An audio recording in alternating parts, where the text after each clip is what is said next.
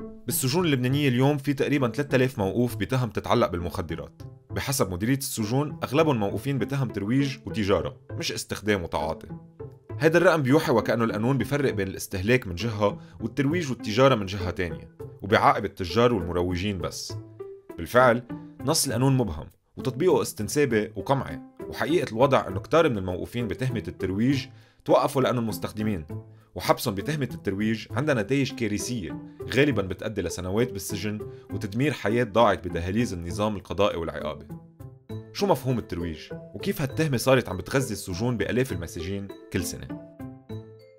مفهوم الترويج بالقانون مبهم والتهمة بتستعمل لتلملم كل الجوانب يلي بتحيط بعملية الاستخدام بنظر القانون مثلا إذا شخص قطّع سيجارة حشيش لرفيقه ببطل مستخدم بصير مروج إذا شخص اشترى لإله ولأصحابه ببطل مستخدم بصير مروج.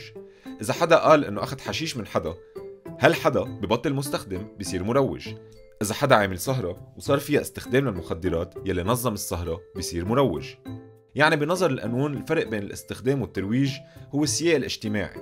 إذا حدا عم يستخدم لحاله أو مع غيره. المشكلة بهالمفهوم هو إنه ببطل يفرق القانون بين يلي عم يضيف أصحابه كمية صغيرة بسهرة ويلي عم بيتاجر ليربح مصاري. بين يلي عامل سهرة ويلي بينتمي لشبكة ترويج. بين واحد دخن سيجارة مع رفيقته وتاجر مسلح شغلته يبيع مخدرات. بنظر القانون كلهم تحت سقف الترويج. والمشكلة الثانية إنه في فرق كتير كبير بين عقاب الاستخدام وعقاب كل شيء بيعتبر ترويج. سنة 2013 أصدرت محكمة التمييز قرار بتفعيل قانون من 98 بيتعاطى مع استخدام المخدرات بشكل مختلف عن باقي الجرائم المتعلقة بالمخدرات مثل البيع والاستملاك والتسهيل والتجارة. أعتبر إنه استخدام المخدرات مسألة صحة عامة والمتهم إذا بيقبل يتلقى علاج بيتم إعفائه من عقوبة السجن يعني العلاج محل العقاب. مع إنه القانون اعترف بمبدأ العلاج وبمقاربة أقل عنفيه لمسألة استخدام المخدرات بآخر عشر سنين بس 6.7% من المتهمين باستخدام المخدرات تمت إحالتهم للعلاج. القانون بيثبت مبدأ العلاج للمتهمين بالاستخدام. أما كل شيء متعلق بالترويج فهو جناية. عقابها غرامة مالية أو سجن مؤبد تتخفف عادة لخمسة أو سبع سنين بالسجن. الفرق بين الترويج والاستخدام هو الفرق بين اعتبار قضية المخدرات قضية جرمية أو قضية صحة عامة بين العلاج والعودة إلى الحياة أو السجن والحرمان من المستقبل. خطورة تهم الترويج إنه مبهمة وما بيفرقوا بين يلي بيتاجر بغاية الربح ويلي بيسهل ويلي عنده استخدام معتاد للمخدرات. خطورتها إنها بتجرم السياق الاجتماعي للاستخدام. بيتجاهل القانون إنه في ناس بتعتبر الاستخدام عادة جماعية مثل ما بيتجاهل حالة الرعب يلي بتخلي الناس تشتري من بعضها لتقلل من الخطر. القانون كمان ما بيلحظ إنه في كتير بيضطروا يروجوا لإنه بحاجة ليمولوا استخدامهم. يعني المستخدمين يلي بحسب القانون لازم يروحوا على العلاج عم بيصيروا يتهموا بجنايات ويفوتوا على الحبس.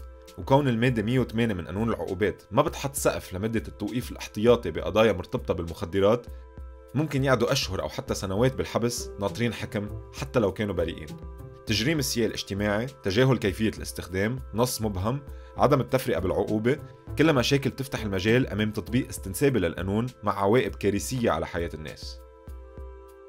من وقت ما أطلقت الرئاسة الأمريكية الحرب على المخدرات كان دايما في أهداف سياسية من وراءها.